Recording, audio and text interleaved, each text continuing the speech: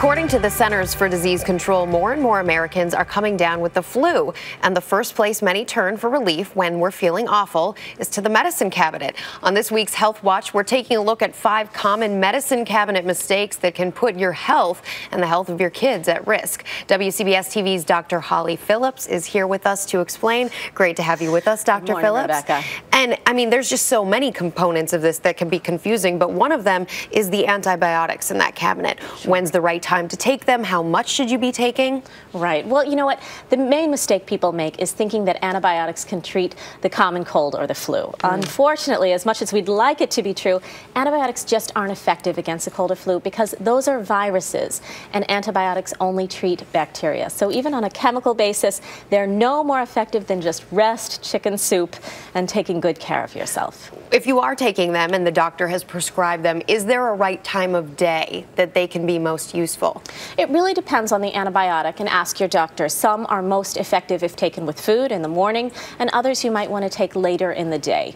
So it really depends on the antibiotic. That's important to know. Mm -hmm. Also, expiration dates. I see this all the time. I go through my cabinet, I'm cleaning it out, I see expiration dates, and I think, should I throw this away or can it still be usable?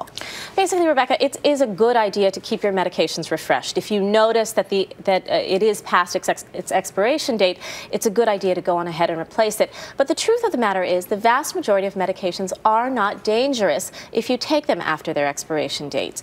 The dates are put there by the manufacturer, and up until that point, they guarantee that the medications are their full potency. Mm. After that, in theory, they may become weaker, but studies have shown they rarely do. Um, mm. But even that having been said, it's still a good idea to try to keep your medicines up to date. That's a good point. Mm -hmm. When it comes to splitting pills, I actually I watch my grandparents do this all the time because sometimes they're given a pill that's just too big, or else they're just trying to save a little money. Is that a safe thing to do? Well, the only pills that should be split are those that are scored. Now, scored means they have that little line going down the middle, which makes them easier to cut. And they should only be cut with a proper pill cutter. Uh, actually, we have one over here. It's basically one you can get at the drugstore for just a couple of dollars. Now, that helps to ensure that the milligrams on either side are the same, and so you're getting the right dose each time. Some pills should never be cut. Anything that says extended release, you could actually overdose by mm. cutting them because you lose that protective coating.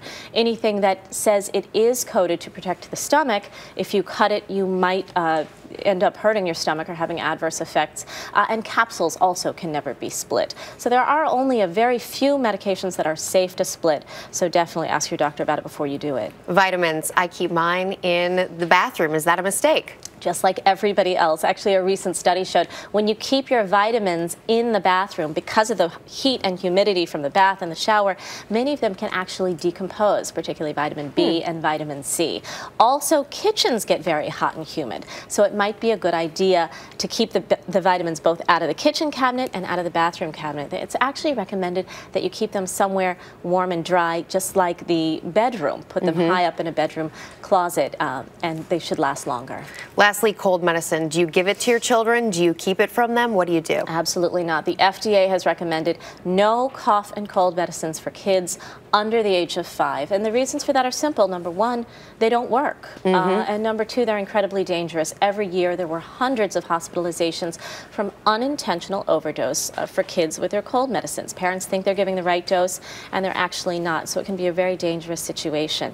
Now, I have a two-year-old mm -hmm. at home. I understand how much you want to help right, you want them to feel better. Anything. But really, the studies have shown just the natural remedies are best. Mm -hmm. For the mm-hmm. cough, uh, I recommend right. uh, just a tea with honey and lemon or boiling up some ginger can help. Dr. Holly Phillips, thank you so much. Sure. We really appreciate it. Thanks for being with us. Anytime. And for more tips to use your medication safely, go to our partner in health news, webmd.com, and search medication errors.